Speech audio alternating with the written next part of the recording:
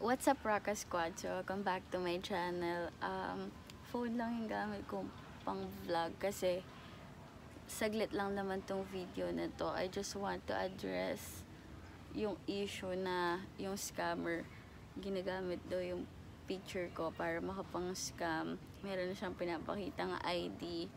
Well, first of all, ako na yung mag-apologize sa abalang ginawa niya. And hindi ko alam kasi if pwede yun kasuhan or kayo bahala kung gusto niyo siyang kasuhan. Hindi ko rin alam kung ano yung may itulong ko about sa issue kasi wala din akong alam. Hindi ko talaga alam. Mag-insert ako ng picture para makita nyo. Actually, marami na nagsasabi sa akin pero at first di ko pinapansin kasi may mga nagsasabi na na peke yun kasi iba yung pangalan na ginagamit pero meron siyang fake ID. Well, gusto ko lang i-share to at maliwanagan yung iba na hindi ako yon and ano pa ba? Ayun lang, gusto ko lang mag-sorry sa abalang ginawa niya. Uh, for sure, makakarma din naman yun. Pero, wala eh. Hindi ko alam gagawin ko. Pwede kayo guys mag-comment sa baba if anong kailangan gawin or siguro yung mga nabiktima niya. Comment kayo sa ilalim.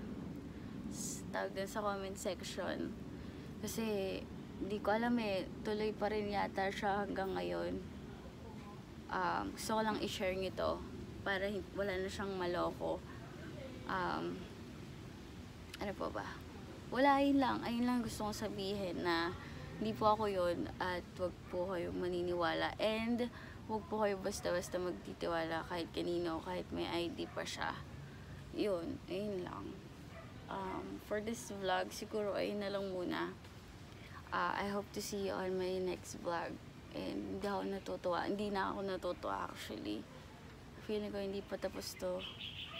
Hindi pa, hindi, hindi pa to tapos. Siguro simula pa lang to. Pero sinabi ko na rin para aware kayo or aware yung siguro tita, tito or mama or papa nyo kung sakali na mabiktima din sila. So that's it guys. I hope to see you on my next vlog. Keep safe.